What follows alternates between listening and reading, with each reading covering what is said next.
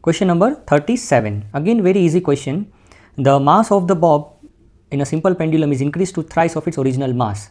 Remember in the equation of the time period of a simple pendulum there is no mass involved means it is independent of mass.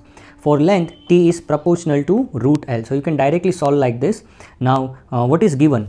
Uh, its length is made half. So, t dash is equals to you can see L by 2 means t dash is proportional to Uh, uh, root L by root 2 right? But I have solved like this here. So L dash become L by 2 so T dash 2 pi under root L by 2 G. So just I have taken out this root 2 out of this. So it is 2 pi under root L by G. It is T by root 2 but in the option is given X by 2 right? So to bring 2 here in the denominator I am multiplying and dividing this term by root 2 and root 2 so root 2 into root 2 is 2 so here you can see it is root 2 into t by 2 right? So it is this is the original.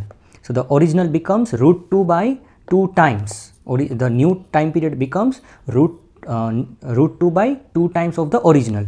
Okay? So here if you compare this with the general expression which is given here then x belongs x is equals to root 2